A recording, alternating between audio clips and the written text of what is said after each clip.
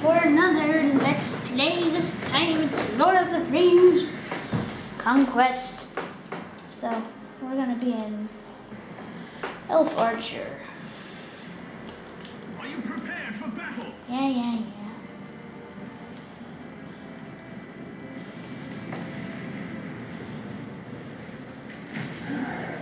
So, we're gonna start killing some cool Kygar. Helm's Deep must not fall to them. Defend the deeping walls.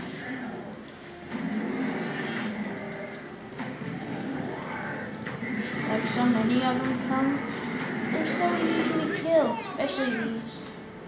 They're not the hard kind.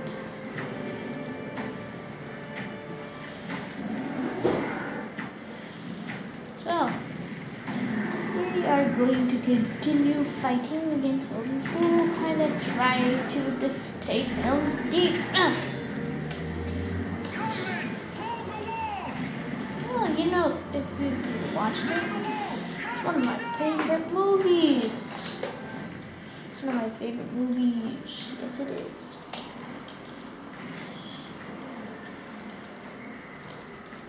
So, we're going to kill all these guys so they don't take it.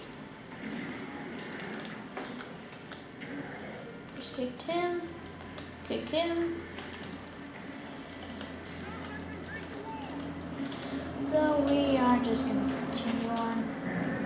fighting up all these guys and making sure they do not take Helm's Deep or.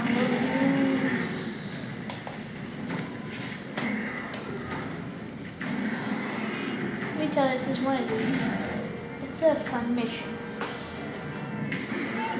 They gain the upper hand. We have stopped them for now. So now we gotta kill these torch bearers. What I like to do is change to the warrior class right now and um, and try to just melee them to death. But I have to hurry, so because if I don't, I wish they had shield in this game. Hey you. No one's allowed here. Warrior has a fire fire sword. When you it's a ability, it's actually very useful. And this another ability is to throw a little axe to like to weaken your enemies before you kill them.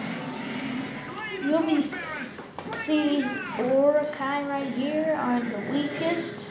They just two hits or one arrow shot. Then you want to just like you don't want to use them on those guys.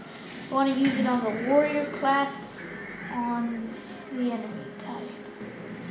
So we cannot let this last torch bearer get here.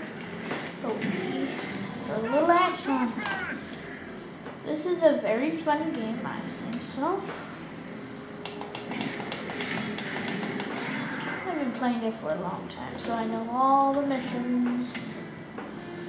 No new for me. That guy's too close. Especially that one right there. The arrows help you to know which guy you're supposed to get rid of. So now we have to get back up. Retire to the keep before they come again. Now we go up on our ladder. To the. So now we um, get big rocks coming in, and we shall wait for part two. Be right back.